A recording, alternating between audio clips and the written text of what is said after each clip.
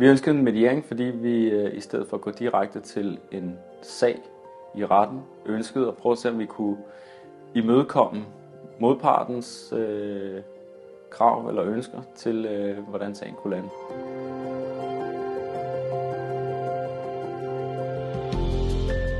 Mediator gjorde meget for at, øh, at, at hele tiden vende blikket mod den ene og den anden part. Og det synes jeg er enormt vigtigt, fordi man har kun sit eget perspektiv, når man øh, stiller sig over for hinanden på den måde. Der var faktisk en, øh, en enorm god stemning imellem alle hele dagen, på trods af, at vi ikke øh, endte med at, at møde hinanden. Og øh, i det arbejde synes jeg, at øh, Mediator gjorde et øh, stort, en stor indsats.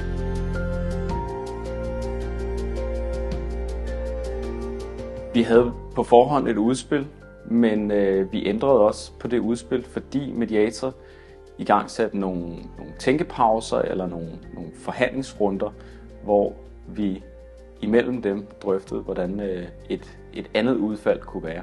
Man skal overveje, hvor øh, langt man selvfølgelig vil strække sig, men man skal også overveje, om man overhovedet vil strække sig, fordi hvis man allerede har besluttet sig for, at man ikke kan rykke sig, så vil medieringen ikke, øh, sandsynligvis ikke flytte på noget.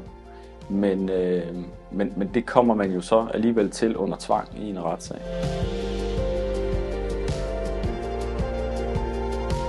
Vi fik ikke, ikke et forlig, men jeg vil gøre det igen, fordi jeg synes, det er en god måde at, øh, at prøve at finde en løsning på i et meget mere neutralt forum, end man kan, hvis det kun er de to parter, der sidder over for hinanden.